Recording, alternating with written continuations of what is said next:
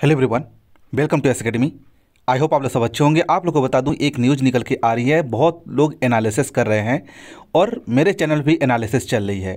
आप लोग को बता दूँ जो शिक्षक बनने की परीक्षा में बैठे थे पर्यावरण की परीक्षा पर्यावरण विज्ञान के कठिन सवालों में उलझे छात्र। आप लोग को बता दूँ अभी तक जितने भी शिफ्ट में पेपर हुआ है दो दिन पेपर चला है। आप लोग को बता दूँ इसमें पर, पर्यावरण जो क्वेश्चन यानी ईवीएस के जो क्वेश्चन आ रहे हैं बहुत ही कठिन आ रहे हैं। अभी तक प्राथमिक शिक्षा भर्ती की परीक्षा दूसरे दिन में कितना? चार हज़ार पाँच सौ तीस छात्र इसमें यानी एडमिट कार्ड जारी हुए हैं, लेकिन अभी तक बत्तीस सौ विद्यार्थी इसमें से एग्ज़ाम में भाग लिए हैं।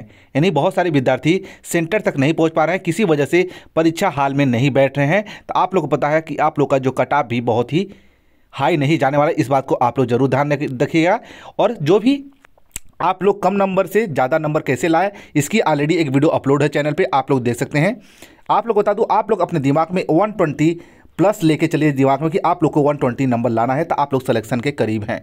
आप लोग बता दूँ, और सागर है, और सेंटर को लेकर बहुत सारे छात्रों में उलझन मची हुई है, क्योंकि जो छात्र बहुत दूर से आते हैं, जिनको 450 किलोमीटर पचास सौ चार तीन किलोमीटर दूर सेंटर दिया जा रहा है। जहाँ पे सेंटर डाला जा रहा है, वहाँ पे सेंटर नहीं मिल रहा है। जैसे भोपाल, इंदौर, जबलपुर मांगा था सेंटर यानी सेंटर जब फॉर्म भरते टाइम सेंटर भी डाला जाता है तो उनको सागर सेंटर दे दिया गया है। और जिनको सीधी दिया था, उनको जबलपुर दे दिया, भोपाल में दे दिया, मैंने थोड़ा दूर में सेंटर दिया जा रहा है। आप लोग किस सिटी में सेंटर डाले थे और आप लोग को किस सिटी में सेंटर मिला है कमेंट बॉक्स में ज़रूर बताइएगा।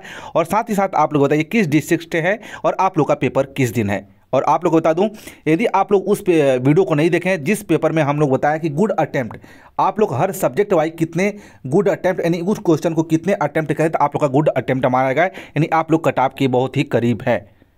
यदि आप लोग उस वीडियो को नहीं देखें तो आप लोग चैनल पर जाके देख सकते हैं। संविदा वर्ग थ्री की एक प्लेलिस्ट बना दी गई है। उसमें भी आप लोग जाके देख सकते हैं कि आप लोग कितना गुड अटैम्प्ट कर सकते हैं कि आप लोग यानी सलेक्शन के करीब माने जाएँगे। आप लोग बता दो, हिंदी और संस्कृत की बात करें तो सबसे ईजी पेपर जो आ रहा है, हिंदी और संस्कृत का पेपर आ रहा है। सबसे इजी मान लीजिए, हिंदी और संस्कृत सबसे इजी आ रही है। और सबसे कठिन की बात करें तो ईवीएस ईवीएस में आप लोग को बता दो स्पेस साइंस किससे स्पेस साइंस जिसको आप लोग बोलते हैं अंतरिक्ष विज्ञान, उससे आप लोग के 10 से 12 क्वेश्चन पूछे जा रहे हैं, बहुत ही कठिन पूछे जा रहे हैं।